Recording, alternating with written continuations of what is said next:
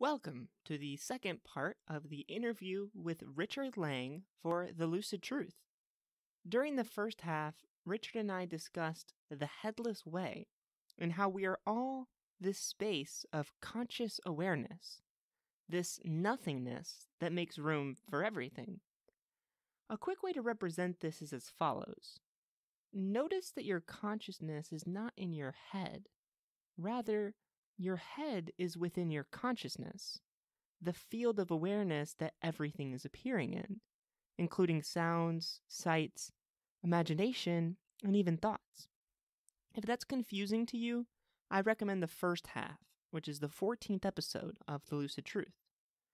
Now, Richard and I discuss free will and the nature of the self in this episode.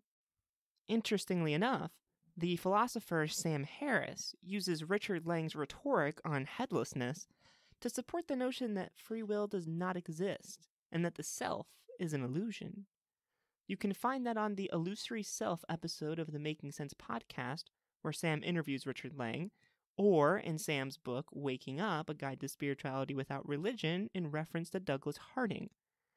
As you can tell in this interview, Richard supports the idea of free will in a way, and also views the self as something that can exist within a certain perspective. After the interview with Richard, I will explain more about my thoughts about free will, which will be explored further and even debated with skeptics in further episodes. So I hope you stick around for that.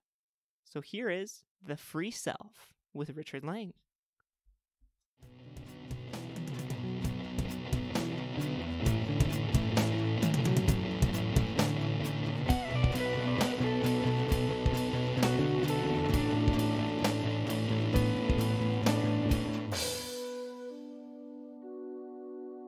I'd like to talk to you about what the self is and what it means to kind of how it can make sense. So, the historical Buddha himself identified attachment to the egocentric self to be the root of all suffering, the dukkha. And so I think this version of the self is an illusion. So we have to understand what the self is not to understand what the self is. Yes. Well, okay. Um, I I took take the view, the, the developmental view. You see, when you're a baby, you're headless and you don't know what you are or who you are, and you've no language yet, no sense of self and other, and or, or you know certainly no developed sense of it. And through language, as you're growing up, you learn to see yourself as others see you. You learn to imagine what you look like at three feet, 10 feet, which is a person. And you look in the mirror and there's that image. And you learn to sort of put it on. So that's what they call identification. Uh, now, that is absolutely vital to do because you, you can't function in society, of course. You know, you have no idea who you are if you don't do that. So we all do that growing up. So we all become aware, self conscious, which is, in these terms, being aware of what you look like from a certain range.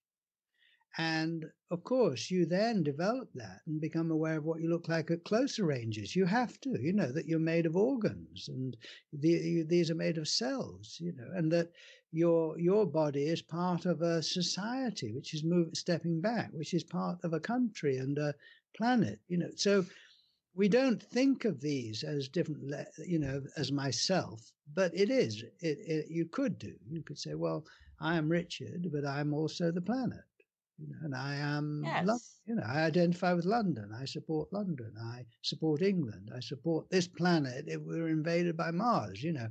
So the, this is, once you see that at center you're no thing, it me it it un, unties you from being fixed just on the one in the mirror, and you realize, oh, my reality is this no thing, which you could say is my true self, which is yes. full of yeah, my which is true of everything. But I've got these other intermediate selves which I need and function with. You know that uh, my my human individual, my family, my country, my planet, my cells. You know, Now, uh, th- this is a, a, new way of thinking about what you are, but it makes sense. It uh, now is identifying with Richard, uh, you know, like the Buddha said, a cause of suffering. Well, of course it is. you know. Yes. You know, life is suffering, and it's not wrong. Uh, but what you are doing, just as it's face there to no face here, it's suffering there to no suffering here, like it was the tense hand to no tension here. And you won't get rid of suffering, but you can place it. You know, you won't get rid of stress, but you can place it and see that you're not stressed. The stress is in, in you. That you're not suffering. The suffering is in you. Now, this is meditation. Uh, you don't learn it. You you attend, uh, and it's and it's not always easy. But that is, uh, you know, that's paying attention to the way things are set up. So you see, I love having a self. I love having have have all kind. You know, being having different layers to myself. I, I think this is wonderful. And I can say that because I'm aware of looking out of this, my true self, which includes everything, and like the mirror, you know. Yeah. Yes, you have a. I like framing it this way you have a core self, and this is your first dimensional self, the headless self. And yes. this is just yourself as open consciousness, the empty container for everything that is free from being defined by its contents. Yeah. And then you have your whole self, your three dimensional self, the self you are for others, and you can improve this self by realizing who you really are as the first person. And yeah. I think a, a, balance is key. It's like Douglas said about stage four of the balanced life private as well as, as public, and public as well as private. Yes, that's right two sides. Yes. When you find out who you are, you, you don't throw away uh, your identification with being a person. I mean, you've worked hard for that and you need that, you know, and it does not get in the way. It's, it, it helps you be aware of your true self. It's a kind of sounding board. Yeah. Yes. It's, um, uh, uh, to quote Douglas again, total self loss is total self fulfillment. This is how you get your way at last, by stopping all pretense and being yourself. Yes, well, there you go, you see. So this is very natural. And what we're talking about is what we all are, your listener as well. And your listener will be thinking about differently and feeling different, have different realizations about it. Of course you would. And you, you won't have the same as me or Isaac or, or anyone else. Uh, and uh, my role here is to reassure you, if I can, that that is the way it is. That's fine. You've got the basic experience, which is kind of non-experience. Point back at your no face. There it is. See, uh, be aware of your single eye. Close your eyes. How big are you? You know, it is accessible. It's, it is available, and you can't do it wrong. But you will think about it and react to it differently uh, and that that is the way it is. And, and so there isn't, uh, you know, we're not really talking about something that you haven't got. We're talking about what you've got, but we're we're sharing our different responses to it, and that's all it is. You know, it, uh, the the thing itself, the no thing itself, is nearer to you than your breathing, and uh, if you, you know, as I've said, if you think, well, I, I so what? I don't feel anything. Exactly. Don't be fooled by that. That is it. Uh, it is deceptive. It is, you know, but it's the truth. You see, I would say, and you can verify it now. It's the place you're looking out of. I'm looking out of nothing into, well, the sky's cleared a bit. It's a bit blue and sunny now. So, uh, you know, the view out is always changing. Uh, but the place we're looking from is the same because it's got no one's name on it and no one's nationality uh, or address. And that this is what we all have in common. And this brings us together. And uh, here we are one. There we're many. Here we're one. And so I say to the listener, well, uh, wonderful to be you, you know, to share this one consciousness You've got a very different view out, different reactions, but there's only one consciousness in my experience. And I'm celebrating that uni- union and unity with with the listener and with you, Isaac, and with everyone, really. Yeah.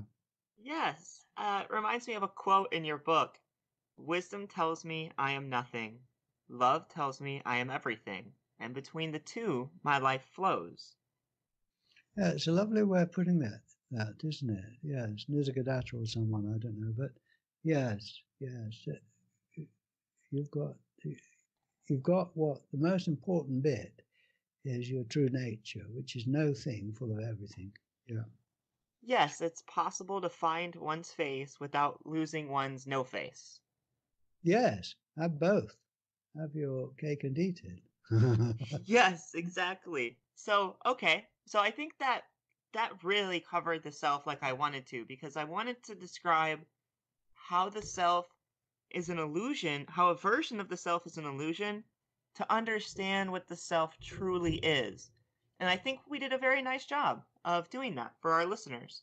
Yeah, and uh, you know, uh, you could say though that you can't understand the self. You know that you can understand things. I could understand Richard a bit, you know, but not much really, but a bit. You know, I understand this and that. But myself, you know, this emptiness full of everything, I don't know where to begin. You know, it, it and yet I am it. You see, it, it is real. But the the, the idea I can understand this is, is uh, yeah, you know, it's just nonsense. yeah, it, I think it makes more sense to say you can be it. Yes, well, you can't not be it. yes, that would be quite the um, achievement. yeah certainly impossible. I, have lost myself. Oh, really? yes, it's like talking about uh, space and like imagining the rocks. Like yes. you're still conscious of them. That's right. Yeah. Yes, I think so. Okay, so I think I want to do the same thing with the self that we did. I want to do the same thing with free will that we did with the self. Oh. Understanding oh. what free will is not to understand what it is. And so, in having no head, um, Harding says it's responsible for everything that comes about. It wills nothing and all things. And in the toolkit for testing the incredible hypothesis, he said it is voluntary, at will. You can be the view without being lost in it. It's the fifth power, willing all things. You can will whatever is in this space. And I think he's totally right about that. This awareness of first personhood, of headlessness, is the highest degree of freedom that I truly believe one can attain for themselves.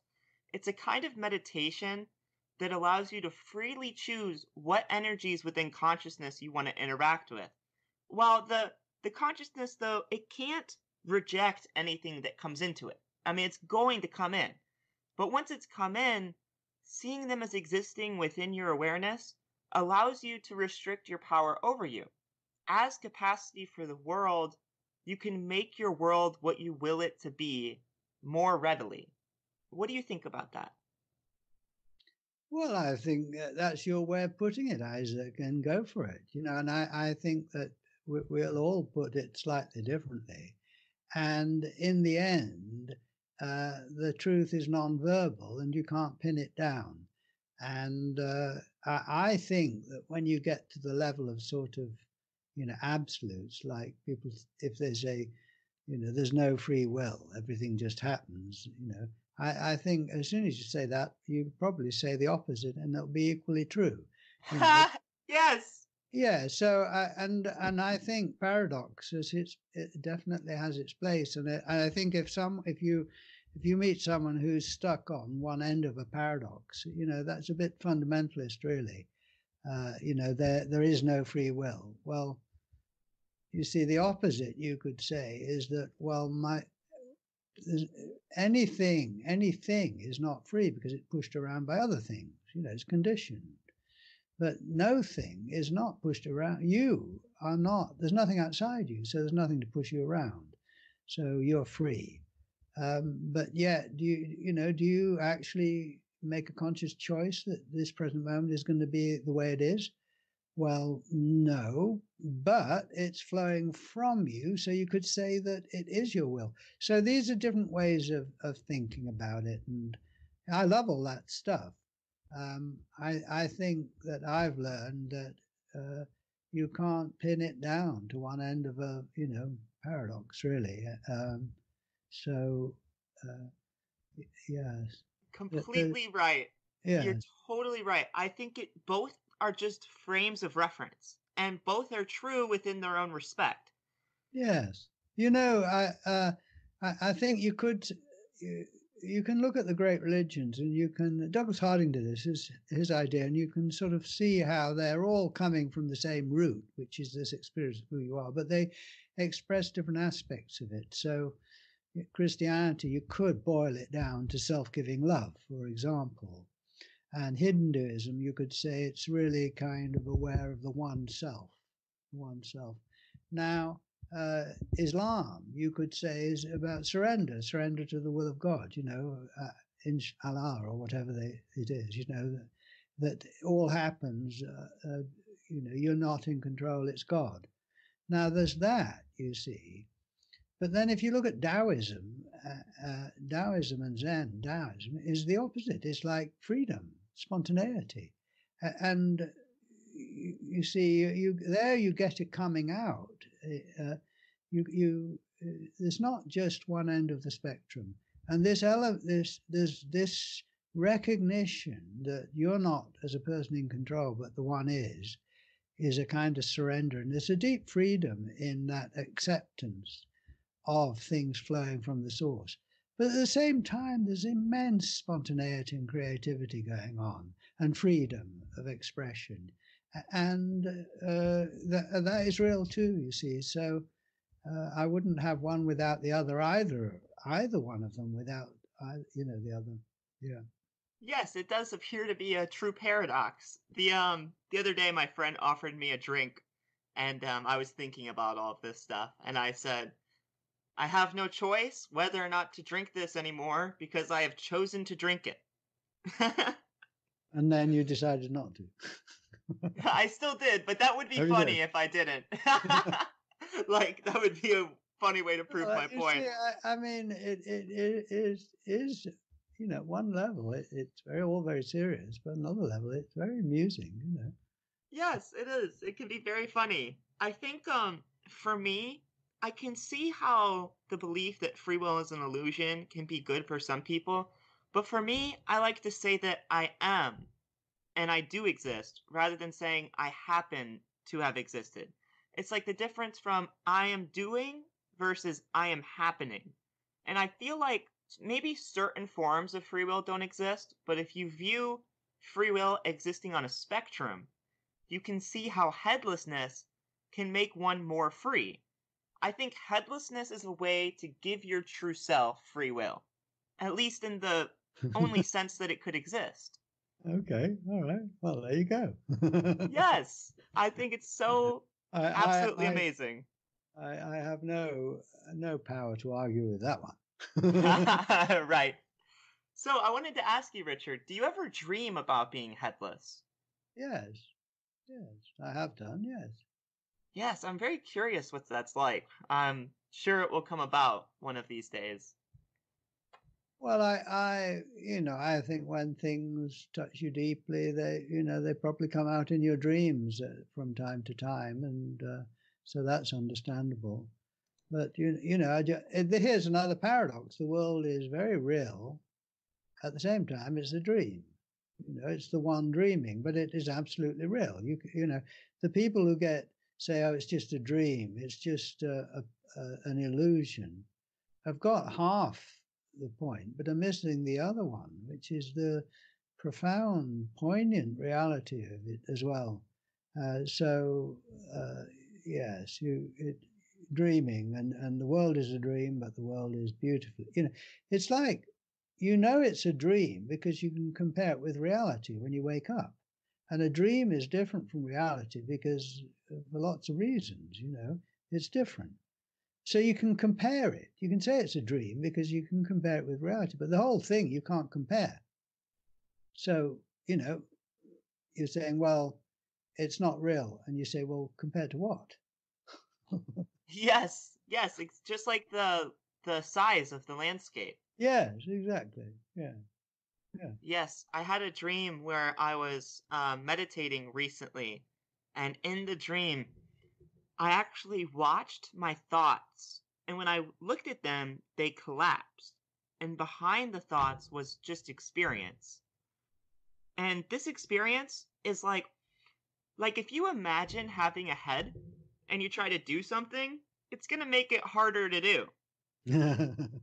But if you imagine having no head, that's like when you're taken by the movie of life, when you're in the natural state of flow, when you're really in the present moment, you don't imagine yourself having a head. but you don't imagine yourself not having. You just don't. You know, Yes. it's, uh, you don't have to imagine you've no head. I am sure you weren't meaning this. I imagine you weren't meaning it, but you, you just don't. You're just empty. You know, you just, it's the way it's given. It works. Yes. It's true. Yeah. Yes, that would almost interfere in the same way as imagining having Yes, that's right. yeah. It's far more kind of simple and natural. Uh, but you see, you, you've really got to have imagined a head here before you can see there isn't one. Um, if you know, it's the absence of your head is in contrast to the idea you had one, and that that is, so it's, it's wonderful to imagine your head here because then you get the surprise and and kind of ring of truth. Oh, I actually I don't have one. Yeah. yes, exactly. And then it becomes very once you see it for the first time, I think it becomes easier to see afterwards. Once you Oh, uh, notice it after you've lost it. Well, that's the mark of it. Is once you've seen it, uh, it's always accessible. I mean, you, you can't, uh, you know, put forward the excuse that you don't know where it is. I mean, you pointed it, you know, and you can't put, you know, you don't have to sort of crank it up. It's just immediately 100% full power as soon as you look. Um, if you're, you know, that's where people who are not aware of this, they get rather caught up in in chasing some kind of experience and uh, trying to recreate it or you know create it. But this is just look there it is, one hundred percent on. Yeah, Yes, and I, I truly believe that this way of seeing is part of the evolution of human consciousness. This well, I mean it must be because we're aware of it and we're you know so here it is. yes, exactly. This Yeah, finding this balance between your whole third person self and your core first person self as it existing as both to reinforce each other this is the highest degree of freedom of will you can truly know yourself and in doing so you can be truly free and none of it requires having a head well, I think you need your head, but not at the centre. It belongs out there.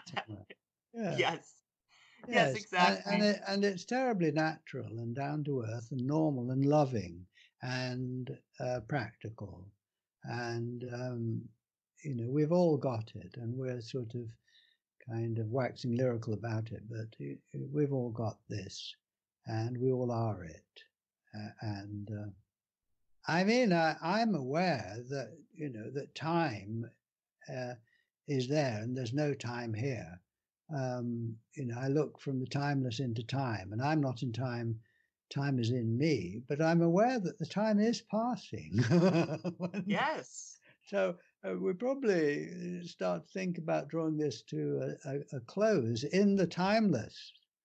Uh, what do you think? I think we've sorted out the universe.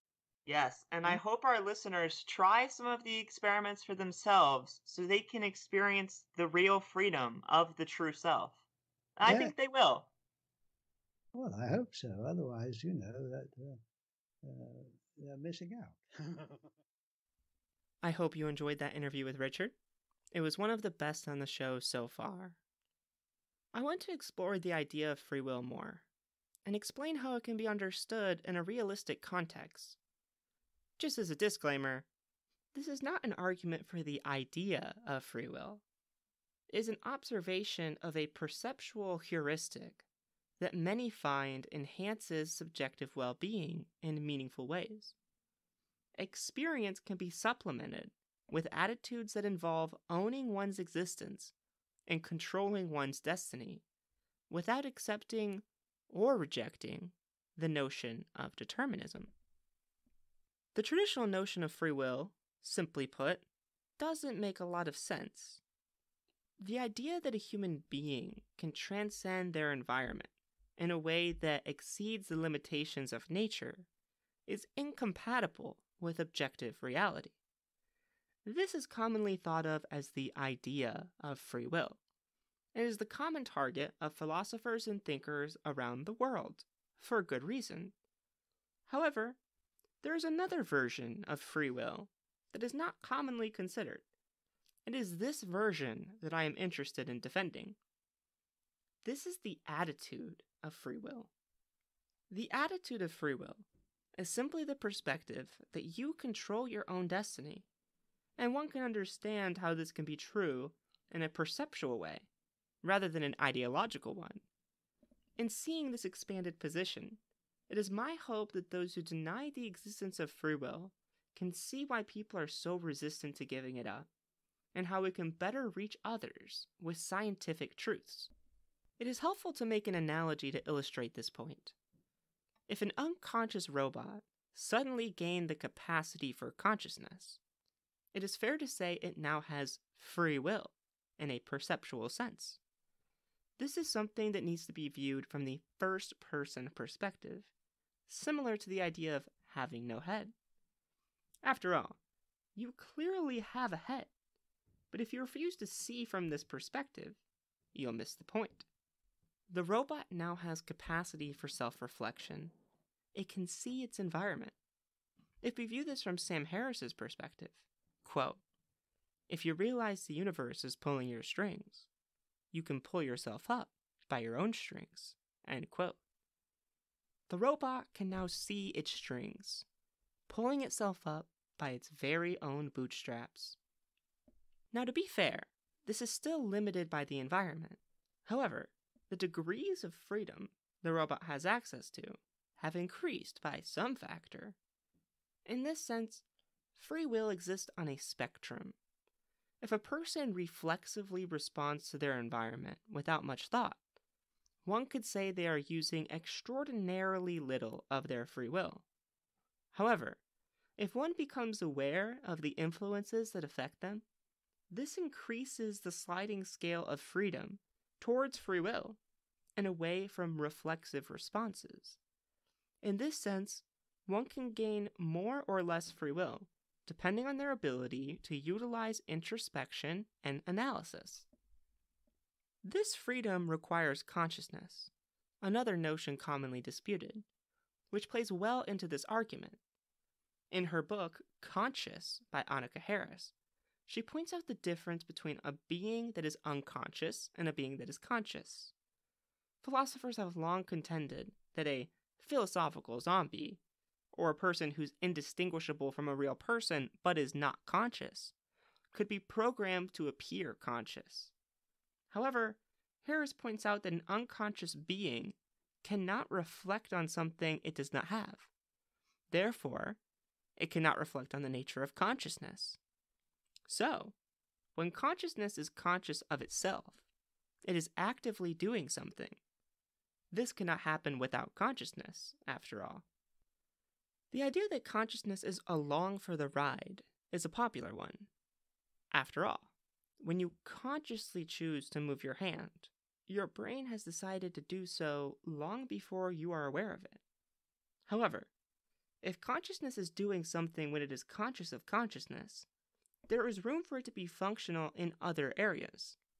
This feedback mechanism is where the functionality is found. Consciousness is the most parsimonious operation for ensuring survival in an evolutionary sense by allowing for awareness and its feedback into the conscious system. Consciousness contains awareness and informs the organism as to the contents of its environment in a way that would not be possible without it. Therefore, it may in fact be evolutionarily advantageous after all. A being that is unconscious has remarkably little free will on this hypothetical spectrum of the capacity to transcend one's environment. After all, This is taken from the first person perspective. Consciousness itself is where one finds the core of the attitude for free will, which is the reason the nonsensical idea of free will exists in the first place. A foundational truth grew into an imaginary concept, contextualized into a mythology. In a similar way, the magic of the ocean is embodied into the Greek god Poseidon. There was a core understanding that was taken to an impossible extreme. We can discredit the extreme, but what was it trying to say? Why does it exist? The answer can be found in the archetype of the hero. By archetype, I mean the literature form of the word, not the Jungian metaphysical version. The hero is one who fights destiny and takes control of the future with the powers that they contain within themselves. Predeterminism is a common enemy in fiction. The reason is not because it is scientifically untrue, rather, it can be disempowering. If one believes that they can change the future, they become more than a victim of circumstance. They confront fate directly and make destiny a story that you write yourself.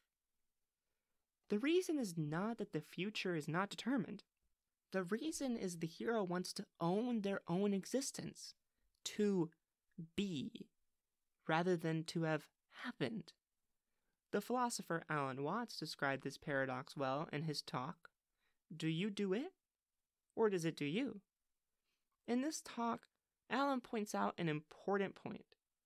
If the universe is forcing your hand, you can appropriately say that you are being pushed around by the forces it contains. However, you can expand your perception and view things in a different way. As opposed to being pushed around by the forces that lead you to act, you are the very forces that inspire you to act. All of the things that lead up to you making a choice in reality, all of the forces, influences, and factors, all of those are you. One can identify with these variables and consider them no different than one's true self.